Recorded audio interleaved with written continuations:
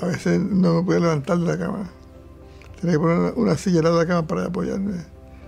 Y cuando yo vi lo de medicina regenerativa, yo, vi el cielo abierto, yo, tengo que ver qué es eso, porque a mí me gusta que me cuenten, me gusta pasar la experiencia.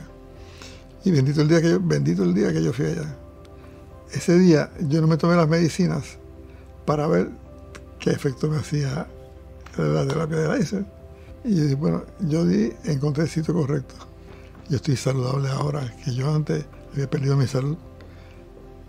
Y ahora estoy nuevo, estoy, trabajando, no me canso, no me caigo. Me siento, por eso yo le digo a los pacientes que no se nieguen esa oportunidad, que por lo menos traten y, y van a tener resultados.